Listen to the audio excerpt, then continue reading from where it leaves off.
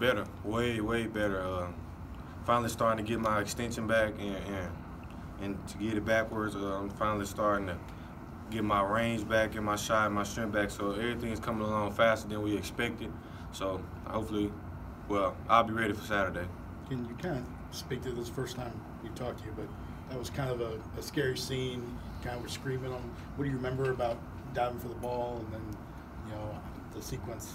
Well, I remember. Uh, I think it was the first play of the game. Actually, I was trying to get through a screen guard and uh, Robert Woodard, and my zigzag arm got caught and kind of like almost like semi-hyperextended it. So it was kind of aching already, that in my shoulder. So I went to the back uh, with Clark to get it, you know, wrapped up and, and, taped up.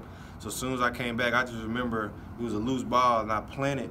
I tried to plant my hand down to get it, and I just felt someone dive into the back of it, and, it was just like a whole shock numbness through the arm. I thought it was broke, honestly, but like like Clark said, we lucky we dodged a, a huge bullet.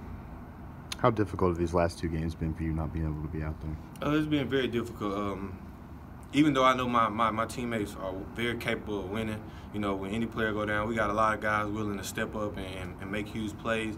It's just the fact that I couldn't be out there to help them, you know, and, and, and contribute to the game the ways that I do. Um, that's just most part that bothers me, but, you know, I'm, I'm back now, so we've been practicing hard. Um, finally getting everybody back. You know, Herb still kind of hurt, but you know he's coming along good. I'm coming along, so hopefully we can make a run these these last few weeks.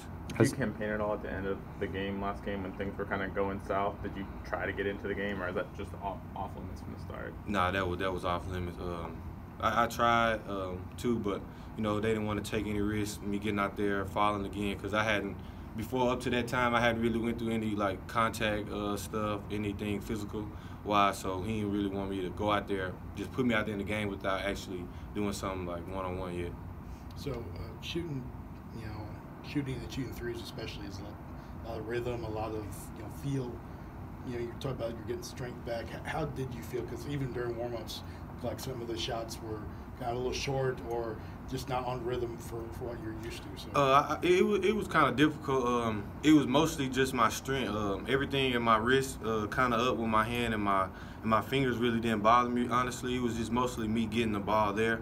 Everything else was cool, so that's what we've been mainly focusing on. You know, getting the strength back in the elbow and my forearm, basically. What, what you mentioned uh, practice contact. Have you gone through?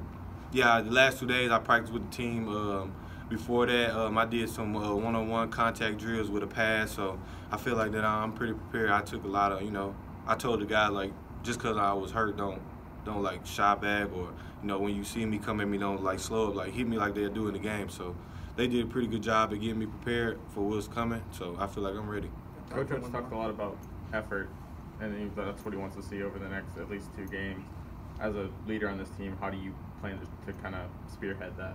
Um, like I just told the guys, so we just gotta look ourselves in the mirror. Um, this ain't the way we wanted the season to start. Um, I mean, Ian, this ain't the way we wanted it to go, but we dug ourselves in this hole, so now we gotta look ourselves in the mirror, ask, so we just gonna quit here, or we gonna keep fighting to try to push to our goals. So all the guys, I feel like all the guys responded to that well, because the last two days of practice have been great with effort, you know, guys practicing hard, so I feel like they answer, we gonna answer the bell coming do you, around. Do you feel like there's been complete buy-in from everybody on this roster for what Nate is trying to do, or is there still some, you know, some places where it's it's not all there yet? I feel like everybody bought in. Um, you know, it's just the emotion of games where stuff started to go, you know, south.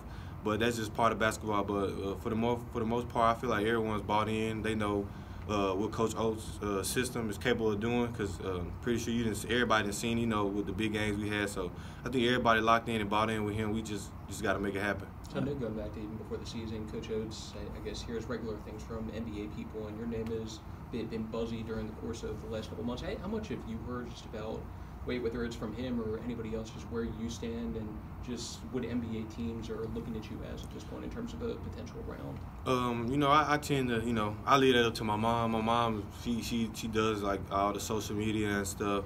Uh, I let her get on my account sometimes, so I, I really leave that up to her you know, I tell her I, I, got enough stuff to worry about already, you know, with school you know, uh, maintaining basketball, maintaining, you know, talking to my daughter every day. So I have a lot of stuff that's that's already on my mind. So she she does a great job, with, you know, keeping me clear headed, with focusing on stuff that actually matters at the time. And we'll, she told me we'll talk about that later. So I, I I try didn't know my if that something that like you guys talked about. Yeah, with, yeah, with yeah, and Coach. Oats, Mhm. or with you and Coach Oats. Nah, not not necessarily. You know, he tried to he try to keep us focused on the goals too. You know, especially you know things haven't been going too well, so I haven't really been focusing about it. Then this occurred, so everything just been been moving pretty fast lately. Thanks, Sean.